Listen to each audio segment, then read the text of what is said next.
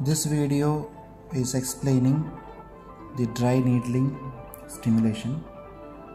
First of all, you have to check the patient. First, we have to inspect the patient. After that, palpate the correct position where the patient feel discomfort. Maybe this is uh, cervical neuralgia or maybe only muscle soreness or muscle stiffness. This case is severe upper back pain uh, because the posture is difficult for this patient. His job is like a long sitting and his posture is not correct. So he feels more discomfort in the upper region, mainly in the shoulder and the uh, shoulder blade region, upper thoracic region. So first of all, I relocate the trigger area. This is the trigger area. So locate the needle. The needle size is 2 inch. You can either use 2 inch or 3 inch. You can use. The first step, just to tap that needle uh, to cross the skin area. So the next point I am searching and I got the next point is not uh, it is not uh, far from that uh, first point. Around 5 to 10 min between uh, 5 to 7 in between 5 centimeter you have to put the next point. So the next point is this next point I am placing more tender area not more than 7 centimeter like that not more than 10 centimeter okay? Because we have to connect the positive and negative points to this region. The next point I am locating in the shoulder blade region where he feels more difficulty so first I am uh, placing the more tender area. Next nearby any tender area he feels. Make that the next point.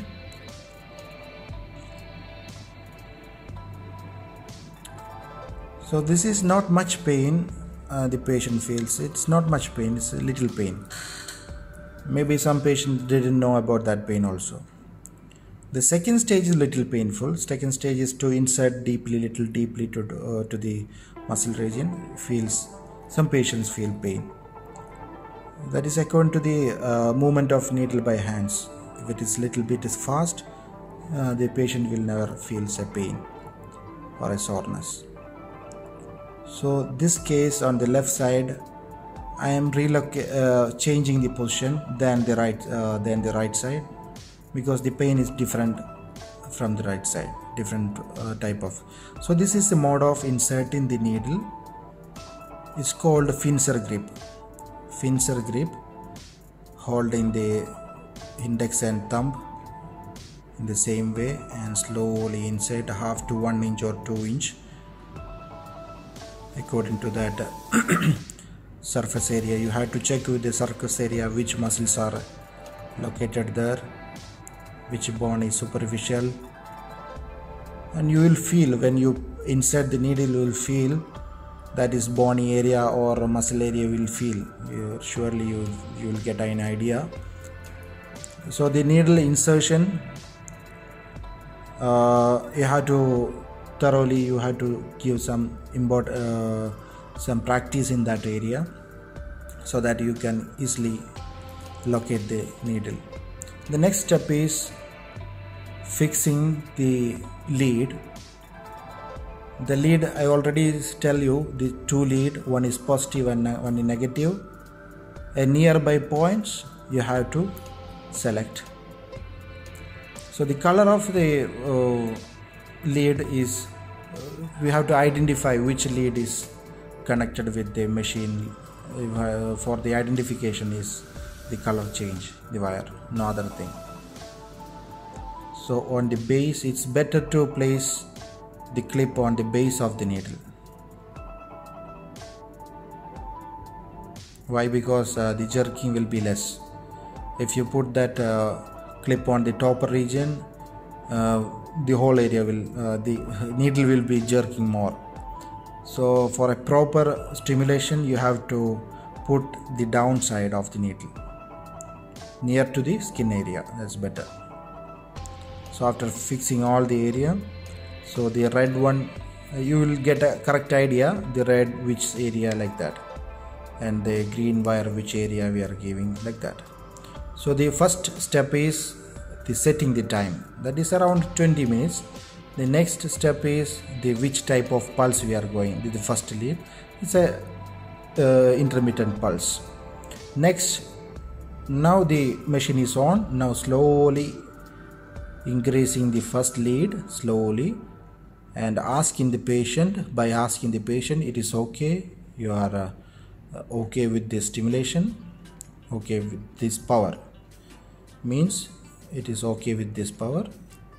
So and also you see the face of the patient. Uh, if it is okay you can increase. If it is not okay you can comfortably place the current so one by one you have to give stimulation one by one leads. And after all finishes you have again asked the patient it is okay for you. You can bear the pain of stimulation. Uh, he tells it is little difficulty so it is okay. He tells it is i can't bear the pain. You have to reduce the stimulation power so again ask the stimulation power is less you have to increase the power. So you see you will see a stimulation in that particular muscles area. Not only the muscle area the surrounding area you will see a stimulation.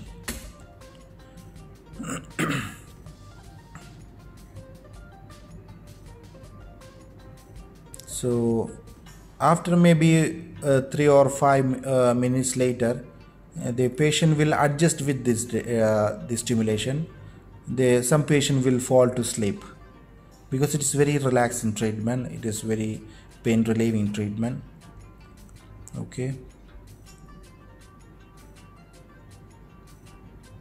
So after 20 minutes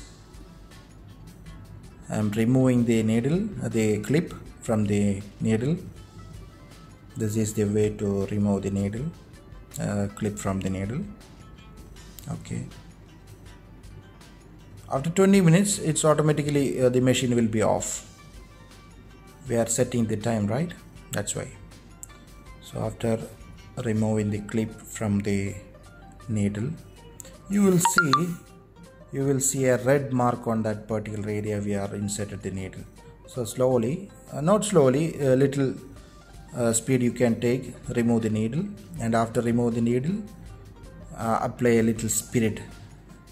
Spirit sponge just massage rub there.